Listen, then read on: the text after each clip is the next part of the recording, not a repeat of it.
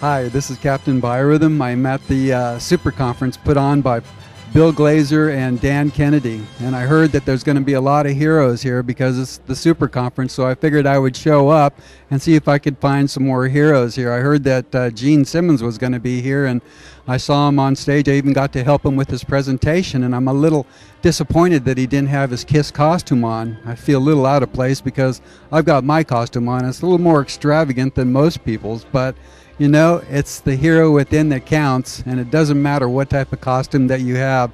The most important thing is whether you're doing good to help the world and whether you realize your true hero within and you are taking your own hero's journey and making the world a better place. And I have to say, the tools, the knowledge, the people that you need here, there's so many real life heroes that are making a difference.